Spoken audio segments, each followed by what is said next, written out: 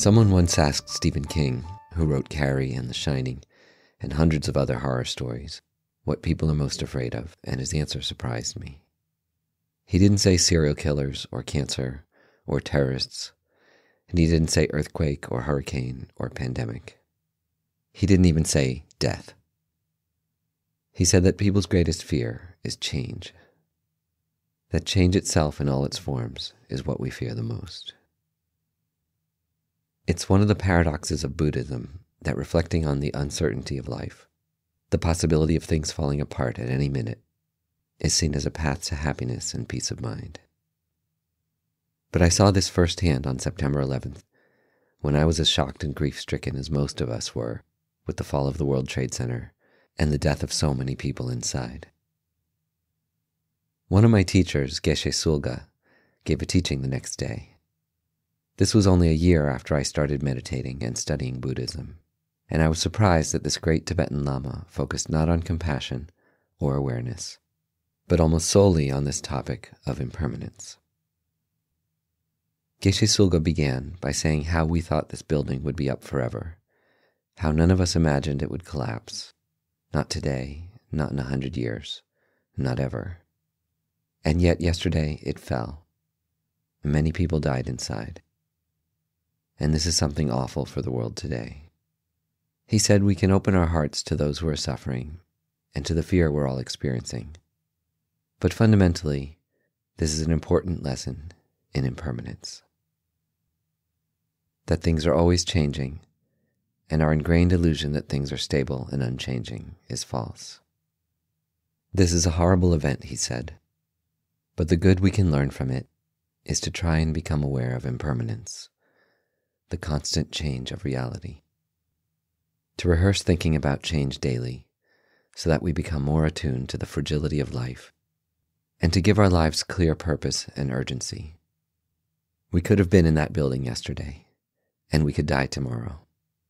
So, how do we want to live our lives today? Are the things we chase after and the ways we spend our time truly the most meaningful? What's the most valuable thing we could be doing right now? After hearing Geshe Tsulga's advice, I started meditating on this topic of impermanence. And later, when I began teaching meditation, it was one of the topics that consistently resonated with people. Often the first meditation I'd introduce to someone who'd never tried meditation before. One of the great things about meditating on impermanence is that it requires no belief, no metaphysics. It's a cold, hard look at reality, just as it is. But also, in many ways, it's a beautiful journey through all the scales of reality, like the documentary Powers of Ten or Cosmos. We've had big, shocking moments of change over the past couple of weeks. With the spread of the coronavirus, the halting of our work lives, our social lives, our travel, the fall of the stock market. Moments like this shock and surprise most of us. But if you talk to someone who's been meditating daily on impermanence for years, You'll find that, like Geshe Tsulga, they're unsurprised at times like this. Because paradoxically, by reflecting on change every day, even the worst types of change, you become calmer, more present, and more ready to help yourself and help those around you when radical change inevitably occurs, like it is right now. You can take the rest of this discussion and next week's meditation as an experiment or an invitation to see whether this way of thinking helps your mind the way it's supposed to. See if reflecting on change in all its forms helps you to accept reality as it is, to be more relaxed and present, and to be a force for positive change with the people and events around you. So let's dive into this topic. We normally see change as something that occurs only after long stretches of time. We go back to our hometown and see that our favorite stores have closed and that old homes are gone. We see an old friend and notice how they've gained a little weight, notice the new wrinkles in their eyes. Or we find an old picture of ourselves and are shocked that we were once that little baby or boy or girl or teenager. But change isn't something that only occurs after long stretches of time. It's always happening, instant by instant. From the Buddhist perspective, human suffering and pain come simply from seeing reality to be other than it truly is. Later, we'll meditate on some of the other illusions that plague us, like seeing ourselves as more important than others, or seeing things as isolated instead of interconnected. But today we reflect on this delusion of mistakenly seeing reality as solid, unchanging, stable, and permanent. Mistakenly seeing things as static rather than changing, failing to accept the changing nature of reality, is seen as one of our greatest mistaken views. It causes us to suffer by making us cling to objects, people, and pleasures as if they'll always stay the same. It makes us freak out when these inevitably do change. And it makes us exaggerate and extend conflicts and grudges that could easily be let go.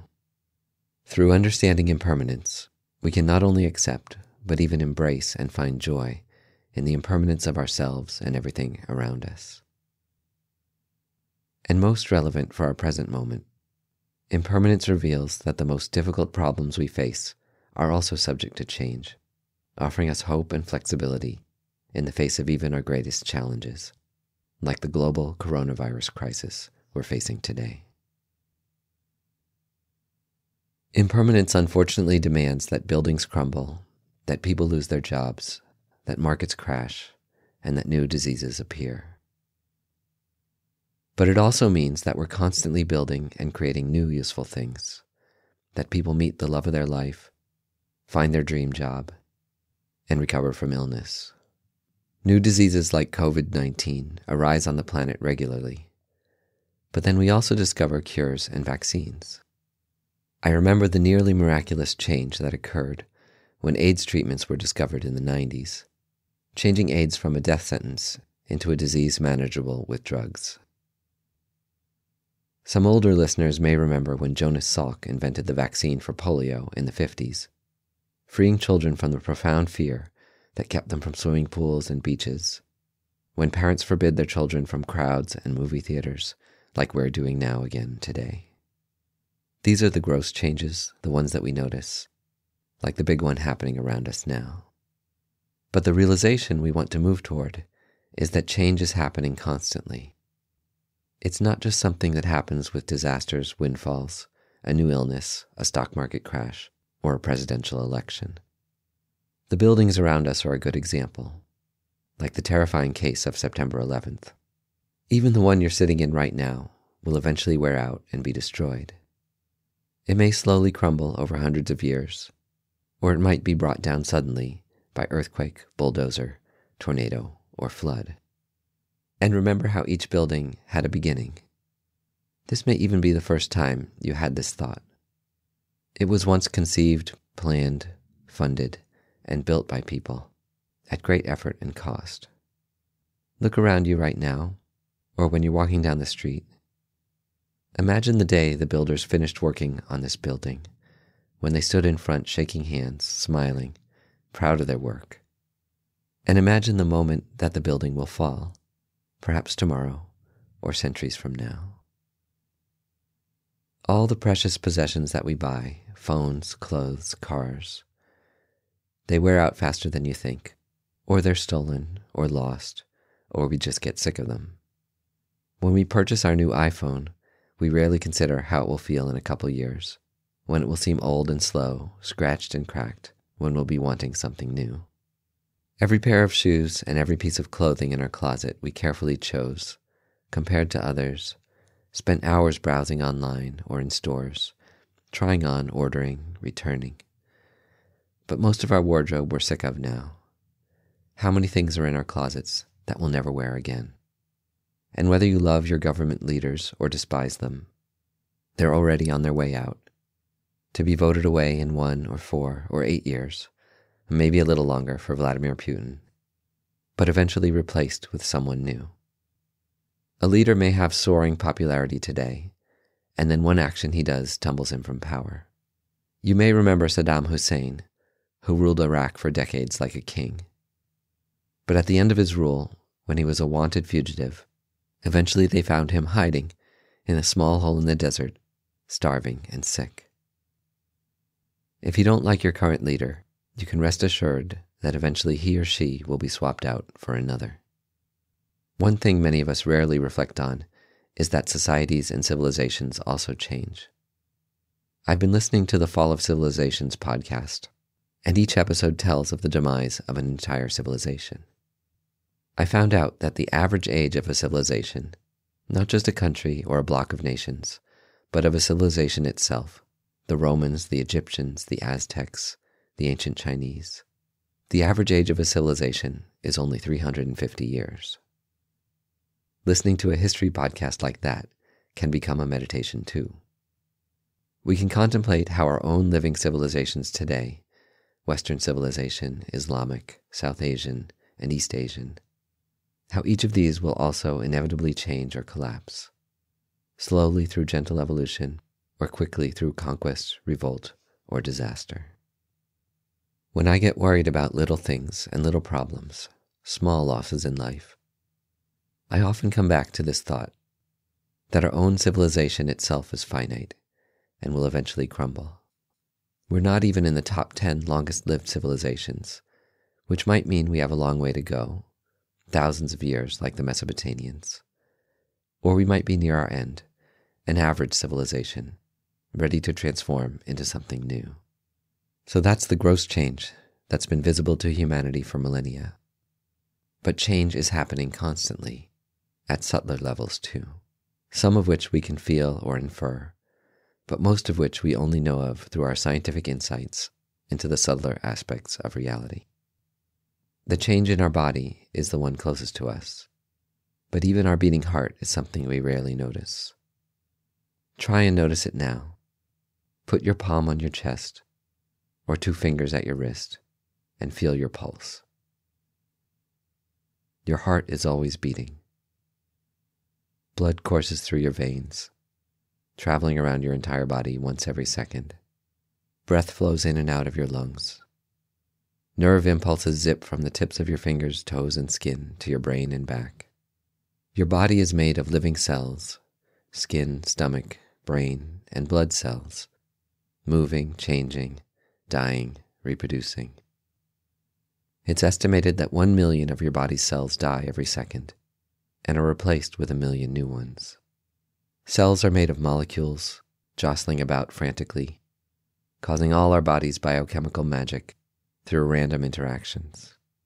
Every molecule in a cell touching every other one every second.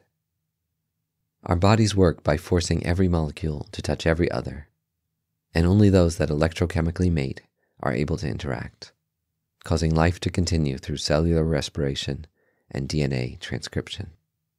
At the atomic level, particles are always in motion, exchanging with each other protons, electrons, neutrons, quarks, muons, gluons, leptons, bosons, and other cutely named particles. It's said that every seven years, all the atoms in your body are entirely exchanged. So, from the perspective of physics, you are literally an entirely new person, all new matter, every seven years. It's just like the adage that you never visit the same river twice.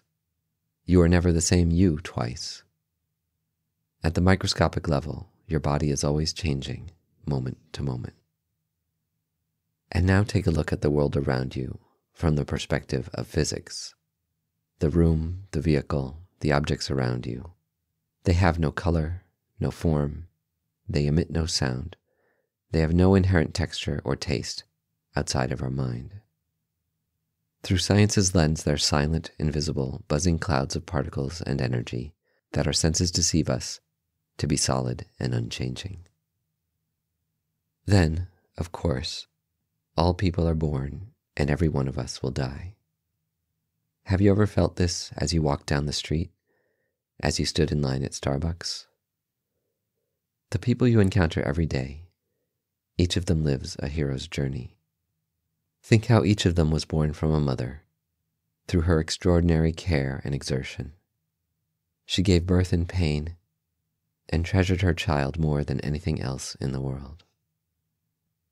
Try to imagine that moment of their birth, the joy of their mother at having created a new being Imagine their mother's exhaustion and love and responsibility to keep her child alive.